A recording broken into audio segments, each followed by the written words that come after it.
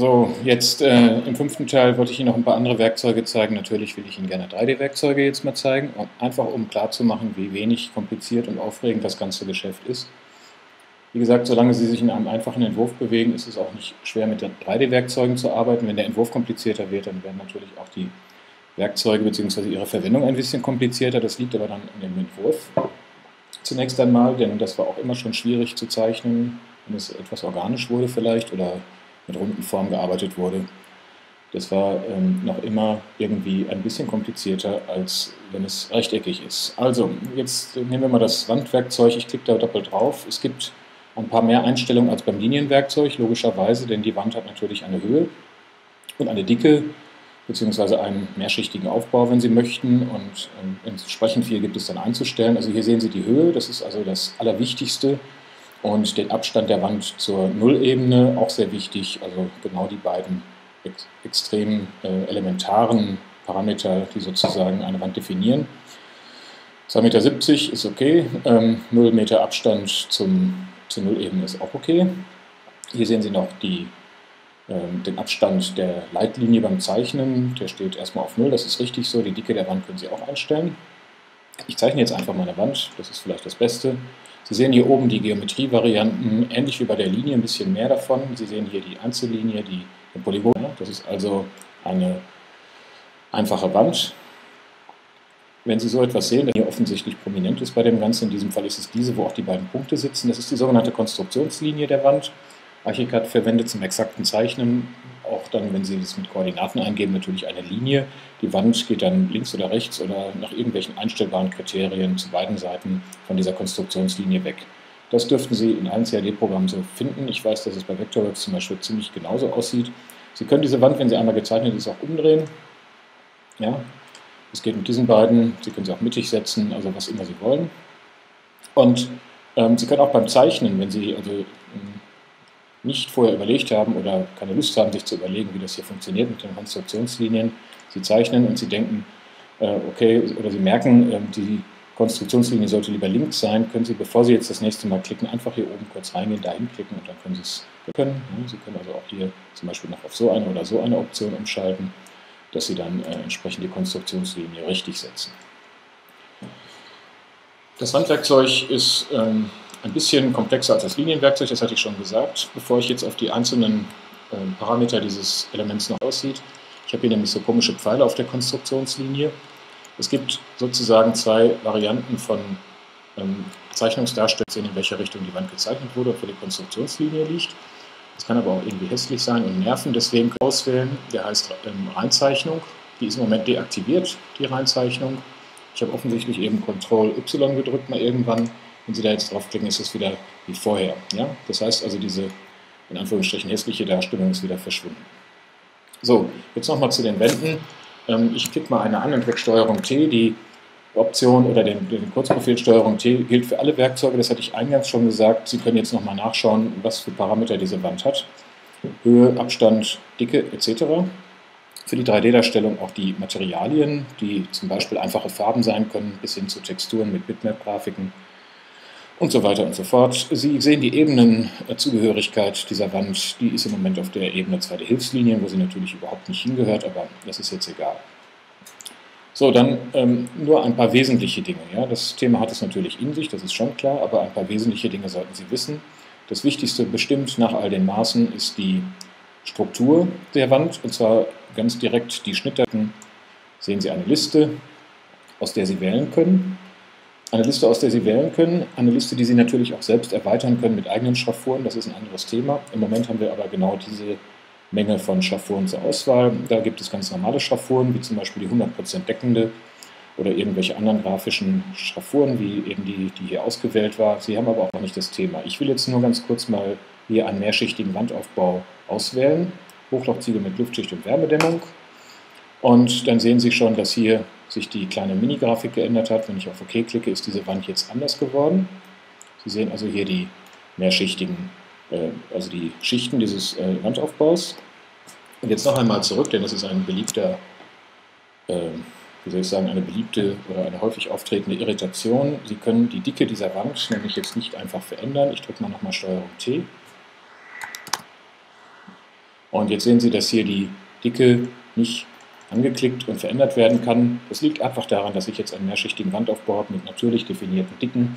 Und wenn Sie das jetzt ein paar Zentimeter dicker oder dünner machen würde, wäre ja nicht klar, welche Schicht sich dann verändern soll, was auch baukonstruktiv natürlich ziemlich blödsinnig wäre. Also deswegen können Sie es jetzt hier nicht verändern. Wenn Sie die Dicke der Wand wieder einstellen wollen, müssen Sie zu einer Struktur greifen, eine Schraffur, die unspezifisch ist, wie zum Beispiel die wir eben hatten, die Mauerwerk Holzsandstein. Schon können Sie die Dicke wieder einstellen. Okay. So, das ist das eine und das Wandwerkzeug. Sie sollten noch wissen, dass sich Fenster in, und Türen in Wände einsetzen lassen. Fenster und Türen finden Sie auch hier in, den, in der Werkzeugpalette. Ja, da ist es, Fensterwerkzeug, Türwerkzeug und noch so ein paar andere Leckerchen wie Eckfenster und Dachfenster. Sie können mal per Doppelklick da drauf gehen und sich kurz erschrecken, was Sie da für eine Auswahl bekommen von Fenstern. Ja, da gibt es also reichlich voreingestellte Fenster, die Sie alle mal anschauen können. Ein Teil davon können Sie benutzen, ein Teil davon ist hässlich. Und wenn Sie ein Fenster in eine Wand einsetzen wollen, klicken Sie einfach drauf, befolgen ein paar Regeln beim Einsetzen und schon haben Sie hier ein Fenster. Das sollte also zumindest ein kleiner Anreiz sein, in 3D zu arbeiten, zumindest für solche Sachen, dass Ihre Fenster eben so einfach da reingesetzt werden können. Fenster sind immer Teile von Wänden. Wenn Sie die Wand jetzt löschen, ist das Fenster wieder weg. Das gleiche gilt für Türen. Türen und Fenster sind überhaupt absolut identisch in ihrer Funktionalität, außer dass die eine mit dem Türwerkzeug und die andere mit dem Fensterwerkzeug erreicht werden. Ja, das ist aber im Prinzip tatsächlich das gleiche. So, dann noch das Deckenwerkzeug. In einem späteren Filmchen sehen Sie das auch nochmal im Einsatz. Ich will es nur ganz kurz als zweites wichtiges 3D-Werkzeug vorstellen. Das Deckenwerkzeug ist tatsächlich sehr ähm, flexibel. Man kann es für sehr viele Sachen nutzen. Wenn man zum Beispiel selber Fenster konstruiert oder bei vielen Möbelkonstruktionen in 3D kann man das Deckenwerkzeug auch gut benutzen. Das macht im Prinzip natürlich irgendwelche extrudierten, äh, in Z-Höhe extrudierten Körper. Das heißt, Sie können jetzt also zum Beispiel erstmal hier Standarddecken zeichnen da sehen Sie 0,3 Meter dick, also 30 Zentimeter. Der interessante Unterschied oder der wichtige Unterschied zum Wandwerkzeug, der Höhenoffset wird von der, äh, planerisch auch durchaus Sinn. Auch hier können Sie eine Schraffur auswählen, das heißt die Strukturdarstellung im Schnitt in diesem Fall natürlich. Können Sie einstellen. Auch da gibt es mehrschichtige Bauteile, Bodenaufbau 1, 2 und Deckenaufbau 1. Die können Sie auch auswählen, wenn Sie wollen. Sie können sich auch dort eigene erzeugen.